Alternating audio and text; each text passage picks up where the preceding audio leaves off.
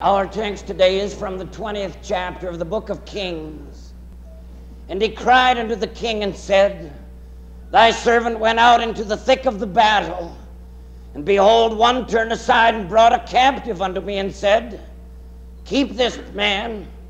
If by any means the prisoner be missing, then thy life shall be for his life.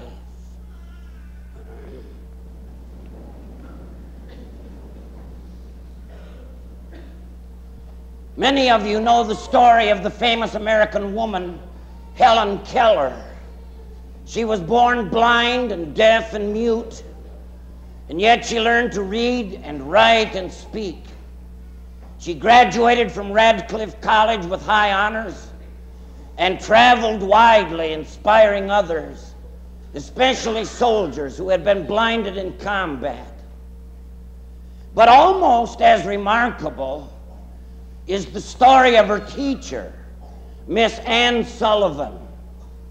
Her story has been dramatized as the miracle worker, and for good reason.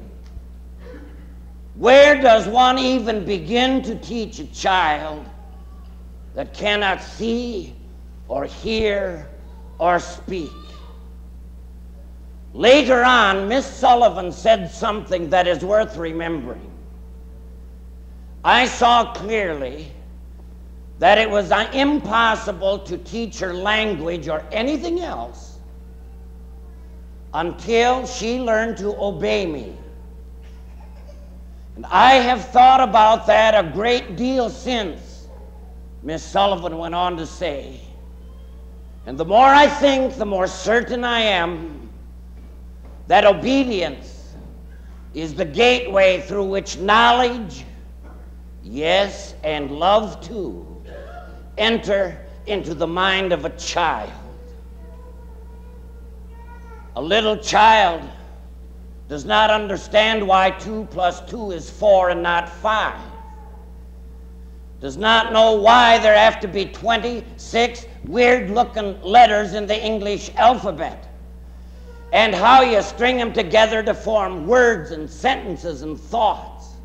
But as that child obeys, it starts to become clear to him and makes sense to him. And one day he is glad that his teacher loved him enough and cared for him enough to make him obey. Now, that is the Bible viewpoint also, not only about children, but about all real religion. You cannot trust a God that you will not obey. And trusting God, leaning hard on God, committing your life into God's hands is the name of the game. We cannot see clearly into the future. We do not know what tomorrow's consequences will be for what we do today. We cannot see how the whole war is being fought along the battlefront.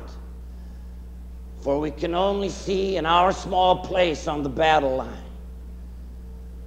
But we can trust and obey the captain of our salvation. And it's only as we obey him that we learn something of the wisdom and the love and the blessing that God has in His great heart to give us. Now, the subject of obedience is never popular, especially among Americans. But it happens to be the burden of the text before us today. The scene opens on the highway running south to the city of Samaria. The roadway is thronged with weary but happy soldiers coming home after the war. Everywhere the citizens have turned out to welcome the boys back home. They are waiting in particular for the man of the hour, King Ahab, to come along in the royal chariot. And one man in particular is waiting.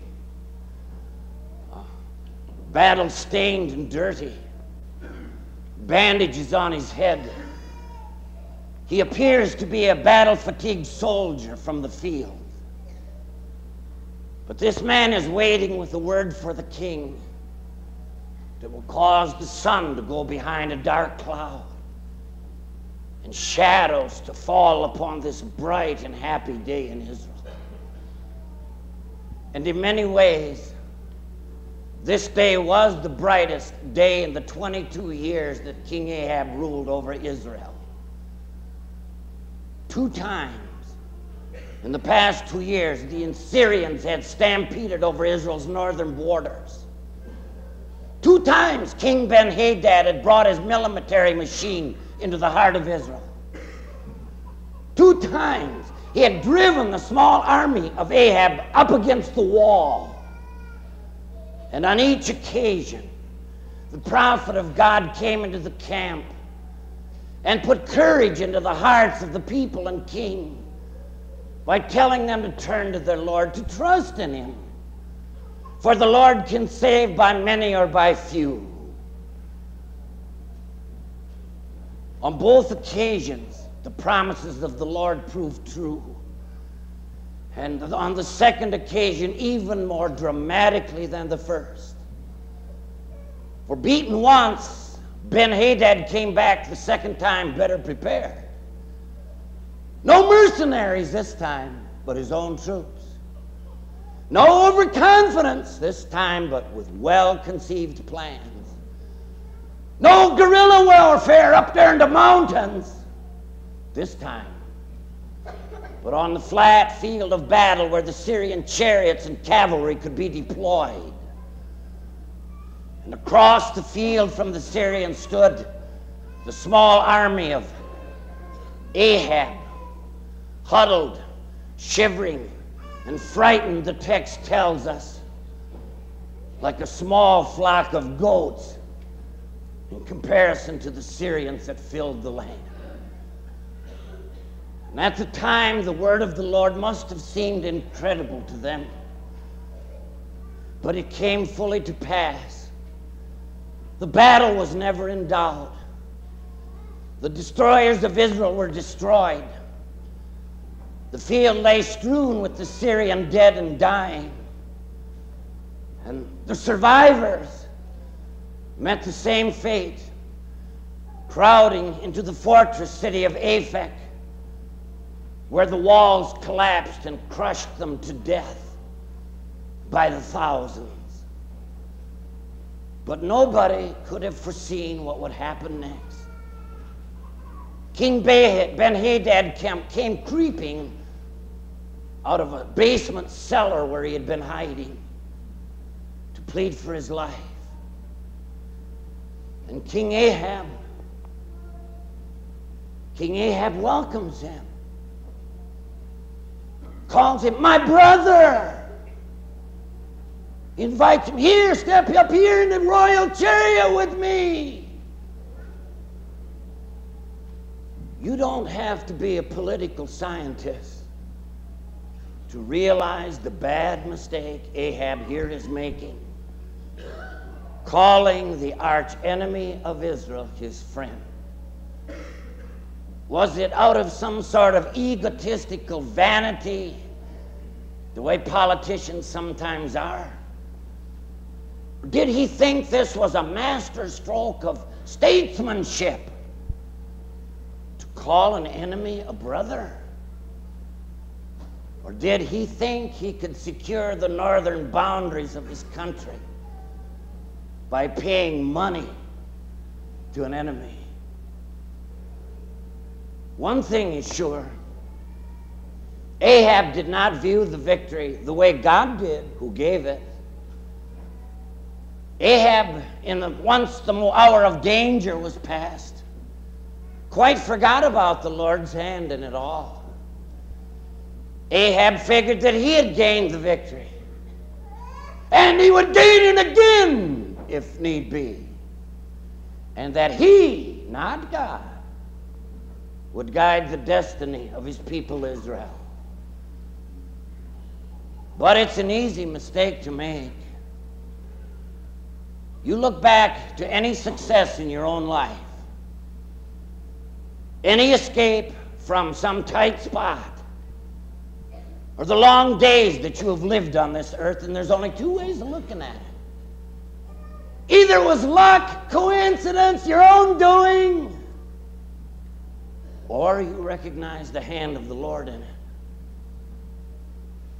The issue is not whether Ahab had good motives for what he did.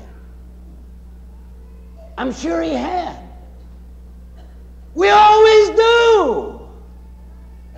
People have explained to me shacking up, revol- reversing the roles in marriage, living a life of total selfishness in language that's so moving, so human, so persuasive that they convinced me until I remembered hey, wait. This is against the commandments of God. Nobody can enjoy the blessings of God by disobeying God. The Bible is very blunt about that. To obey is better than sacrifice, and to heed than the fat of rams. Ahab set his enemy free. He undid everything that the sacrifice of his people, the dead bodies of his soldiers, the divine help of the Lord had given him. And so, while the two leaders are speaking peace to each other with their lips, when there was no peace, another scene is developing off stage, as it were. A man of God is saying to his colleague, also a man of God, the word of the Lord says, Strike me with your weapon. But like Ahab, the second man of God did not obey. He saw no reason why he should. What was the point? What possible good could come of him smiting a fellow man of God so he didn't do it? And so the first man of God says, Because you have not obeyed the voice of the Lord, a lion will strike you down as soon as you leave. And sure as shooting, a lion did. Now, that seems like a severe, a drastic punishment. But if the men of God ain't got it straight about obeying God, how are they ever going to tell the king or the people? So he says to a second man of God, The word of the Lord says, Strike me. And the guy does and wounds him. And now, with bandages on his head dirt all over his clothes, he's standing there along the highway waiting for the king's chariot to appear. He steps in front of the horses at the opportune time. He begs a word with the king. He speaks in the words of a parable. He says, I was caught in the thick of the battle, and I was wounded. And somebody said to me, Here, take this captive and guard him with your life. It's important. He's a valuable prisoner. But while I was busy here and, and there, the prisoner disappeared. Ahab was a soldier. Ahab knew the importance of obedience. Ahab understood how the whole battle can be lost because one man disobeys orders or quits his post. And Ahab says to the man, You have judged yourself. It's your life for the life you lost. And at once, the prophet removes his headband and reveals his identity and says, Thus saith the Lord, because you, O king, Let a man go whom I determined to die. It's exactly as you said. Your life for his. Your people for his. Ahab understood that. He was cut to the quick. He went storming off to his castle, fuming and enraged. How quickly that bright day of victory passed away, and how soon the storm clouds of war would roll over Israel once again, and, by the way, life for life, people for people. There's something else here about this innocent prophet who is wounded by the will of the Lord and for the sake of others. Did you know that that is a picture of your salvation? It came literally to pass in God's Son Jesus, a life for life. The innocent one goes down and the guilty go free. Now, I cannot explain why God used this way of all ways to open for you the door of life.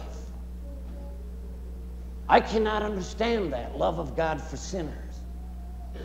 I am a sinner and I can't hardly love sinners.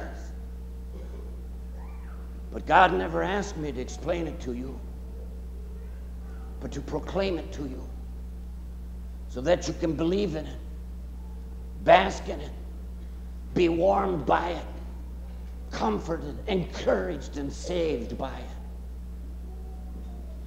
Oh, people, like Ahab, we do not know what the future holds. We do not know what sorry chain of events today's disobedience to God will set in motion. That's why it's so important for us to trust and obey. And there's a grand old passage in the scripture that helps us on this score, and it says, My thoughts are not your thoughts, neither are my ways your ways, saith the Lord. For as the heavens are higher than the earth, so are my ways higher than your ways and my thoughts than your thoughts. Amen. The peace of God, which passeth all understanding, shall keep your hearts and minds through Christ Jesus. Amen.